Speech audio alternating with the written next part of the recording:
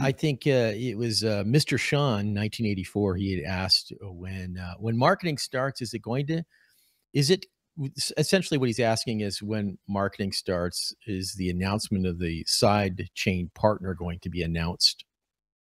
That's right. So um, I think that there is some um, specific differences that needs to be made here, just to clarify. So there is uh, Divi and the work that Divi is doing, and basically what we've been doing in the last couple months for Correct. that we could call marketing or maybe more accurately communication, mm-hmm. and mm-hmm. all of that is done. It's done internally, right? So then there is the paid marketing that is again coming from Divi that is reliant on budget, obviously, and so this is the thing that you can read with Rob's article, which is an, a great article about how marketing works um, behind the curtain. How how does it really work in the industry? And we will have other articles that detail in each of the components of that. And then uh, the next step will be uh, to s- select a strategy for that and start to collect money through the DAO. Um, so this is basically the next step for marketing on the Divi side.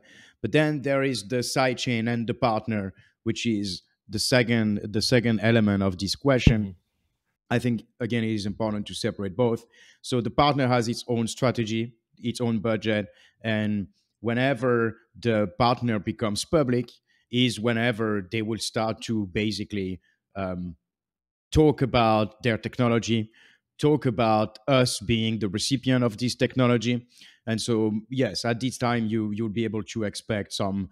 Um, we could expect some big movement um, in the press and about like a lot of light um, on us at that time.